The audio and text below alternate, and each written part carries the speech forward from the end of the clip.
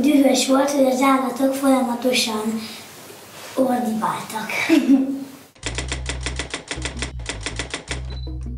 Amikor a gyermek nehezen ad ki hangot, fárasztja a beszéd, elcsuklik a hangja, a beszéd közben suttogásba megy át a hang, akkor hangképzési zavarral állunk szemben. Utána öt labdával dobálózott tovább a bohóc.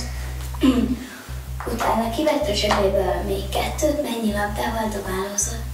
A hangképzési zavar tulajdonképpen az emberi hang tisztaságának zavara.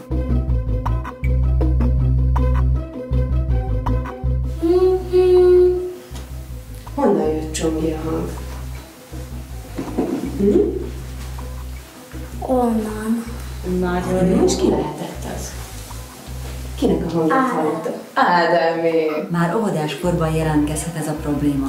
Látható tünetei lesznek, láthatjuk a gége, a nyakizom, a torok megfeszülését, erőlködés közben, beszéd közben. Ez odáig fajulhat, hogy estére a hangszalagok már nem képesek hangot kiadni. Bármilyen meglepő, ez felnőtt, vagy akár időskorban is előfordulhat. Január. Február. Március. A terápia célja, hogy a szavak által végzett gyógytorna következtében és a terapeuta modellnyújtásával elérjük, hogy mindenki rátaláljon a saját, tiszta, szépen csengő hangjára. Mert ez mindenkiben ott van, csak elő kell csalogatni.